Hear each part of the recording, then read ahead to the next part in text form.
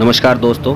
सुबह सुबह का समय है और ये एलनाबाद के मुख्य बाज़ार से आपको तस्वीरें दिखा रहे हैं। ठंड का समय है और आज सुबह सुबह कोई गाड़ी वाला इस बेजुबान जानवर के ऊपर से गाड़ी निकाल कर ले गया, जिससे इस डोगी की दोनों टांगें बिल्कुल टूट गई है और दर्द के मारे इसका बुरा हाल है और ज़ोर ज़ोर से काफ़ी देर से करा रहा था, जो कि अब थोड़ा शांत है हमारे चैनल की टीम ने समाज सेवा में अग्रणी रहने वाले राम अवतार जी के पास फ़ोन किया, जो कि जीव जंतु आश्रय स्थल से टीम को यहाँ पर भेज रहे हैं, ताकि इसका इलाज किया जा सके। सभी वाहन चालकों से हमारा अनुरोध है कि कृपया वाहन धीरे चलाएँ, क्योंकि इन बेजुबानों की चीख सुनने वाले बहुत कम लोग हैं। ठंड के समय में ये बेजुबान जानवर जो है कि जल्दी रोड क्रॉस नहीं कर पाते, इस वजह से हादसे का शिकार हो जाते हैं। कोई तेज़ गति से वाहन जा रहा होता है तो उस वाहन की चपेट में आकर इनकी टांगें भी जाती है और जान भी जा सकती है। तो अभी हमारे बीच में जो टीम है, दिनू बाबरा जीव जंतु आश्रय स्थल की जो टीम है हमारे बीच पहुँच चुकी है, जो इनका इलाज करेगी।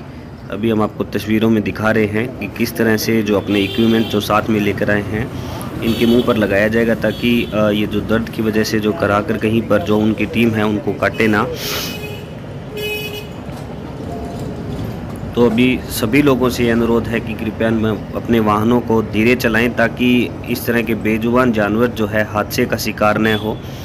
और ये संस्था जो है बहुत इष्ट भाव से जो अपनी सेवा कर रही है, तस्वीरों में देख सकते हैं कि किस तरह इस डोगी के ऊपर ये लगा कर मुँह के ऊपर और इसका इलाज किया जाएगा।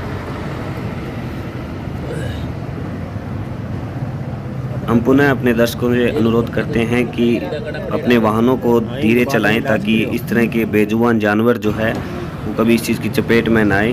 अभी देख रहे हैं कि तस्वीरों में किस तरह से वो जब इसको हिल, थोड़ा बहुत हिलाया डुलाया जा रहा है तो दर्द के मारे जो करा रहा है और पूरी टीम जो सक्रिय है, इसको ठीक करने के लिए यहाँ पर पहुँची है।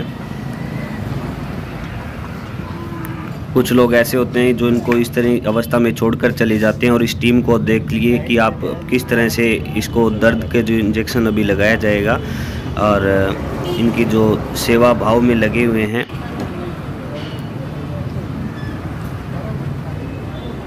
आप ये जो तस्वीरें हैं जो ई समाचार पर देख रहे हैं इलाहाबाद के मुख्य बाज़ार से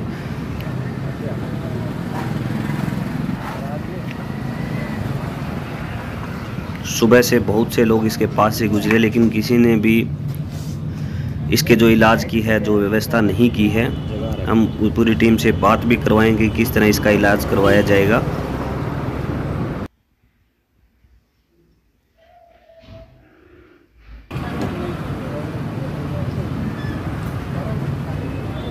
अब इसके इंजेक्शन के बाद इसको इसके ऊपर डालकर इनके जो आश्रय स्थल जो इन्होंने बनाया हुआ है जहाँ पर जीव जंतुओं का इलाज किया जाता है वहाँ पर इनको लेकर जाया जाएगा। अभी हम दीनू बावरा जी से बात करते हैं।